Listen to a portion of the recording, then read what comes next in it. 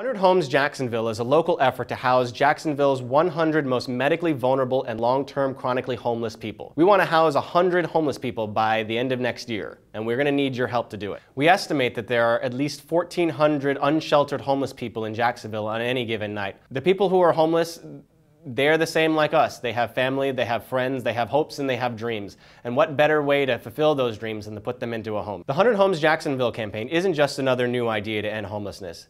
This is a campaign that's been working in other cities across the country, and it can work here too. This is a community effort that requires community support. We need everyone to pitch in. Homelessness isn't going to be ended just by a couple people. No, we're going to need everyone to participate. What we want from everyone out there is to join our registry week.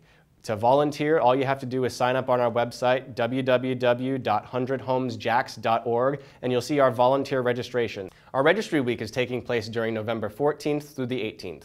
The first three days are going to be survey days. We're going to be getting up at 4 a.m. to go survey homeless people in the community right here in downtown Jacksonville. We're going to be administering our vulnerability index survey and then towards the end of the week on Friday, we're going to be doing a massive community briefing where we're going to get all of our city officials involved and let the community know what we learned from the campaign and who's going to be housed first. The 100 Homes Jacksonville campaign is the solution that saves. This solution saves time, it saves money, it saves lives, it saves energy, it saves resources, it saves all around. If you want to do the smart thing, if you want to do the right thing, support the 100 Homes Jacksonville campaign. It's the solution that saves.